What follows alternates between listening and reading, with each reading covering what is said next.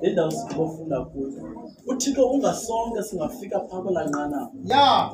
xa sifika kwelaa nqanaba kunezinto uthixo ekudala efuna uzenza ebomini bakho nangobomi bakho. But engakwazi because awukafiki phaa. Then xa sowufika phaa you realize ubana ngaba ubabalo uthixo ebomini bakho uyalandisa. Sebo ubabalo uyathini uyalandisa because uyayazi uba asoze akulimaze kwindawo akubeka kuzo siyabona na?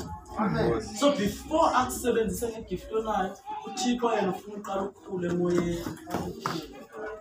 Ngoba xa ukhulile emoyeni nesipho sakho siba yinzuzo ngakumbi amen haleluya inkosi mayisisikelele haleluya Amen.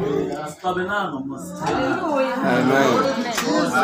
sebakokonjole kanje Haleluya siyabulela kakhulu egameni lenkosi Yesu.